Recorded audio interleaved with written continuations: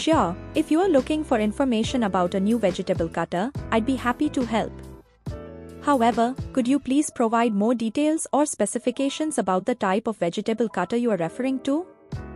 There are various types available in the market, including manual and electric, designed for different purposes and with different features.